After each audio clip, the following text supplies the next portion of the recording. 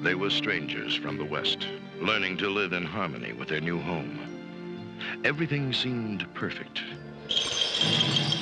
Until they learned the truth about the house where evil dwells.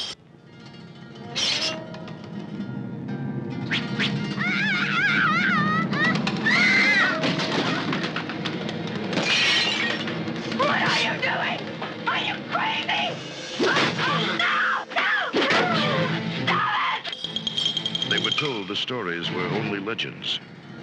Tales told from generation to generation.